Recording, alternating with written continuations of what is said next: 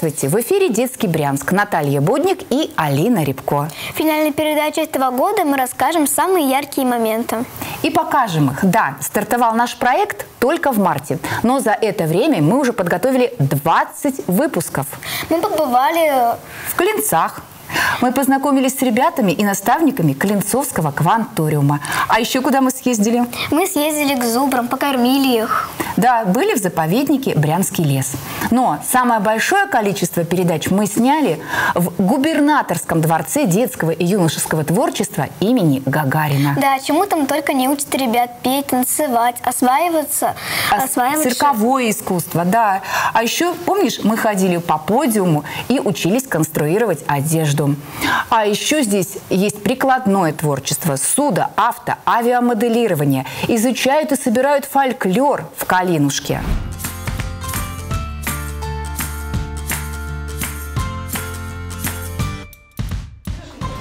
И сегодня мы пригласили на нашу передачу Елену Григорьевну Шинкаренко. А еще с нами наш проводник э, Анастасия Романенко. Здравствуйте. Добрый день. Здравствуйте. А, Елена Григорьевна, вот мне казалось в какой-то момент, что мы сняли уже все э, в вашем дворце. Столько было передач, столько интересных направлений, секций. Но я забралась на ваш сайт и поняла, что у нас только работа началась, да? Да. Э, Пользуясь случаем, хочу сказать вам огромное спасибо, что вы проявляете такой интерес к нашему дворцу. Наш дворец действительно уникальное место, где э, находят ребята, мальчишки и девчонки, более пяти тысяч человек, э, э, занятия по интересам. Э, Это очень различные секции, это очень различные направления, это очень интересное объединение, где наши педагоги стараются вложить душу, стараются отдать свои знания, свой опыт нашим ребятам.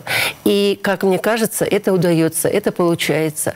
И я думаю, что если бы не было такой ситуации, то на сегодняшний день мы не были бы такой многочисленной армией мальчишек, девчонок, наших педагогов. Поэтому это, конечно, наша гордость. Вот скажите, мы были э, там, увидели направления, которые сохраняются еще с советских времен. То есть я, когда была ребенком, занимались ребята авиа, авто, судомоделированием. Это было модно, это было интересно. Это модно и интересно сегодня. И в то же время вот Алина смотрела подиум, девочки, э, модная одежда, какие-то такие вот современные направления.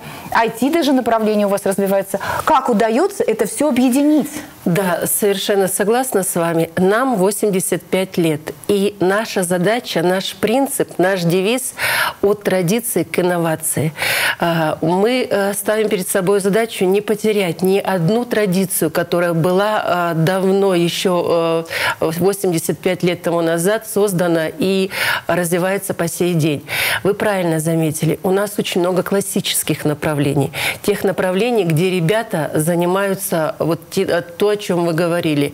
И, конечно же, современные э, моменты, современные направления, современное объединение. А, Хочу сказать о том, что это наш принцип, и перед нашими педагогами стоит задача о том, чтобы быть современными, но, учитывая все то, что у нас есть, что накоплено многими годами, сохранить и приумножать. Почему на сегодняшний день я считаю, что очень сильная у нас система воспитательной работы? Потому что мы э, стараемся все, что у нас э, было накоплено годами, внедрять сейчас современные, новые, инновационные э, объединения и дальше развивать их уже вот в таком э, сочетании традиция и инновация.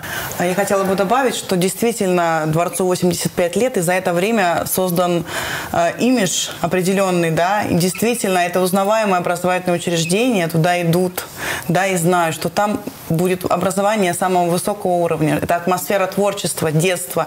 Ведь действительно вы были у нас, вы видели, да, сколько у нас детей, и родители выбирают нас, и знают, что если они будут э, заниматься во дворце, это определенная атмосфера, это определенные достижения к нам стремятся попасть. И мы очень рады видеть детей, э, взрослых. У нас есть образовательные программы и для взрослых, и для детей.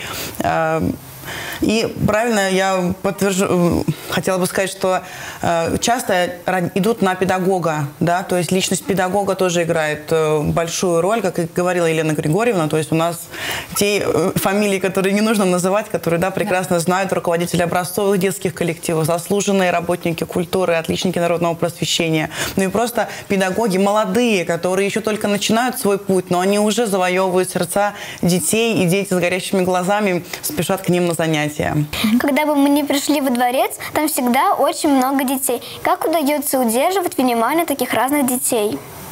Да, это же не школа, где вот оценки, жесткая программа, потом ЕГЭ. А вот, вот как их сюда вот привлечь? Это... Да, это действительно так, э, потому что, э, вот вы правильно говорите, мы дворец. Это значит о том, что у нас большое разнообразие. Мы э, оказываем услуги, вот такое не очень хорошее слово, но оно действительно так, по всем шести направленностям. Это и туристско-краеведческое, это и естественно-научно, это и художественное направление. И в связи связи с этим ребята могут выбрать э, занятия по интересам. У нас на сегодняшний день 34 воспитанника наших детских объединений, которые в свое время занимались в наших э, детских объединениях, а сейчас они являются педагогами. Вот эта преемственность очень важна, потому что эти педагоги, они молодые, они действительно э, знают, как идти дальше вперед. И они те люди, которые э, понимают о том, что такое такое дополнительное образование не понаслышке, а именно пройдя свой путь и придя вот к такому решению. И мы очень ценим таких воспитанников, таких педагогов. И как результат, результат работы, совместной работы с нашими ребятами. Это многочисленные э, фестивали, конкурсы, соревнования, где ребята показывают результаты и добиваются соответствующих результатов. И я считаю, что это, конечно же, э, большую роль здесь играют наши педагоги.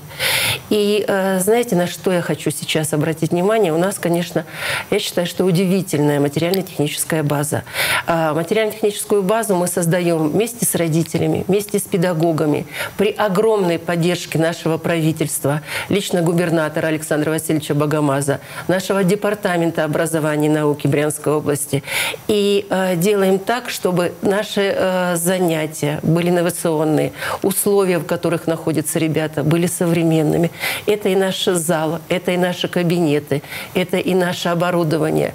И, конечно же, э, подросткам, детям э, очень интересно находиться в этом. А когда еще это подтверждено и умножается э, удивительными педагогами, конечно, есть соответствующий результат. Количество детей у нас не уменьшается. Каждый год нас прибавляется около 200 человек. И поэтому одна единственная у нас проблема, что мы не можем расшириться. И э, у нас, знаете, мы думаем о том, как мы будем размещать наших детей через несколько лет. Но стараемся. Я думаю, что мы еще снимем не одну передачу.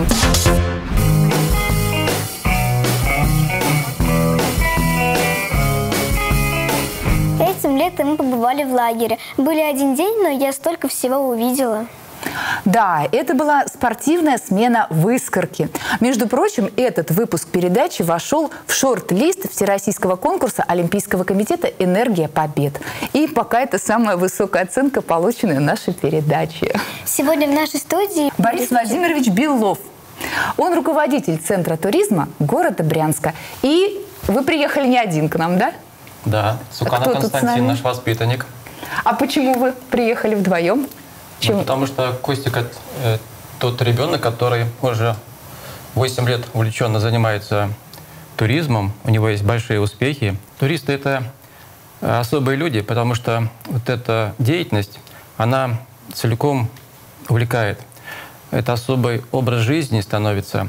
И когда ты пробуешь себя преодолеть, когда ты пробуешь что-то для себя открыть, открыть человеческие отношения, открыть какие-то законы природы, поведение природе, когда ты являешься, понимаешь, что являешься целым вот этим составной частью этого мира, когда ты ценишь то, что тебе дано, ты учишься быть ответственным, целеустремленным, ты проявляешь стойкость духа.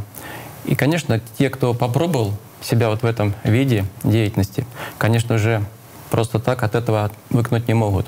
Когда вырастают дети, они даже кем бы они ни работали, но они обязательно все выходные, а тем более отпуска, стараются где-то быть на природе, каких-то походах, в каких-то путешествиях. Это очень увлекает. Константин, а вот что тебя увлекает? Я понял то, что мне нравится это дело. Я полюбил очень походы. Мы с родителями, с друзьями начали ездить на природу с палатками, на рыбалку достаточно часто. Ну вот потерялся. Какой ка- короткий инструктаж для тех, кто вот вдруг понял, что в лесу и он один и страшно. Вот, какие твои действия, скажем так? Вас тебя этому научили? Не паниковать, нет безвыходных ситуаций. Прежде всего, Константин правильно сказал. Самое главное, чтобы не паниковать, успокоиться, определиться по сторонам горизонта, вспомнить, откуда ты пришел, э, подумать, где могут быть люди. Это помогает и рельеф местности для этого, и дорожная сеть, линии электропередач. Ну и, безусловно, надо уметь ориентироваться по солнцу. Прежде всего, если солнце есть, то никогда человек не должен уже пропасть, потому что все равно понимаешь, откуда ты вышел, куда нужно идти, направление. Главное успокоиться. Мы ко всему этому приучены и себя чувствуем в любой ситуации. Как говорится, не бывает плохой погоды, бывает плохая экипировка у туриста. Здорово. Алин, ты что-то тоже хотел спросить, да? Походы, еда на костре, ночь в палатке. Это, конечно, все интересно, Ну, мне кажется, очень сложно, да? да. Вот комары летом, вот, это же как-то вот они вот кусаются, чешутся. И зачем в это все влезать, Да. да? Ну, на комаров, вот если честно, вообще все равно. Ну, попшикался там этим от комаров средством, и все. А что, ты- а что если забыл его? Забыл. Пить. Ну, одеться в закрытую одежду, чтобы не было открытой кожи.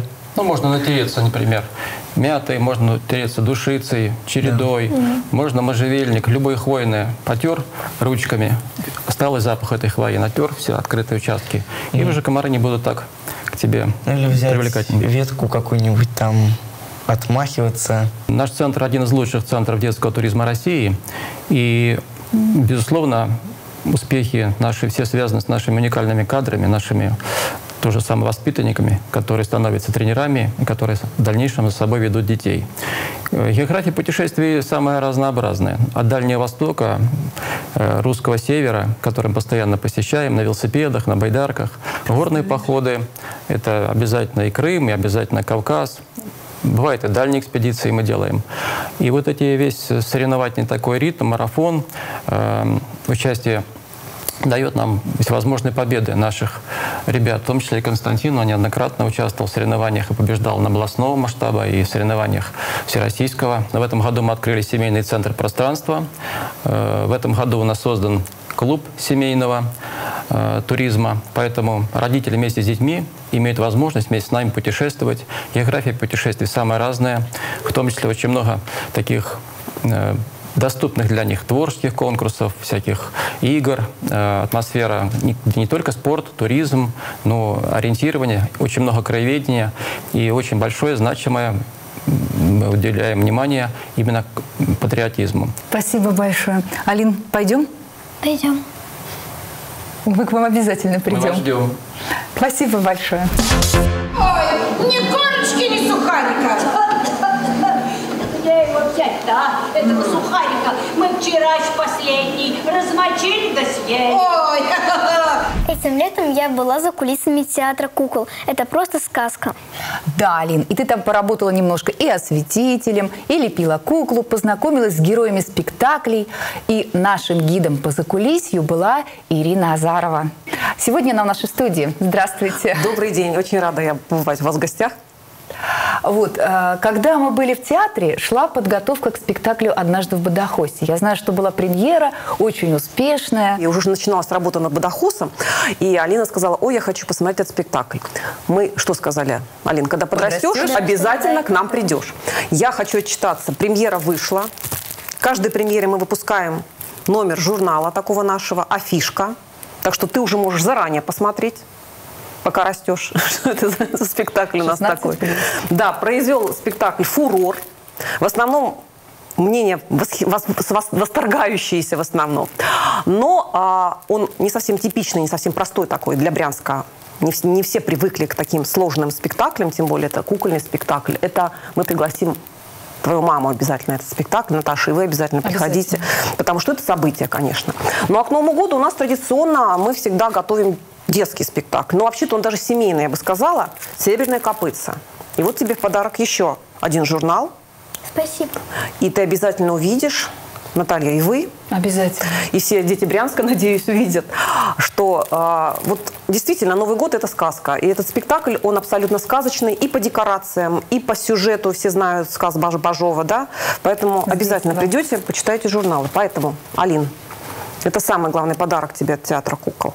4 января мы ждем тебя на «Серебряном копытце» в нашем театре. У нас в следующем году в наш репертуар входят такие авторы, просто потрясающие. Островский, Чехов и э, Лесков.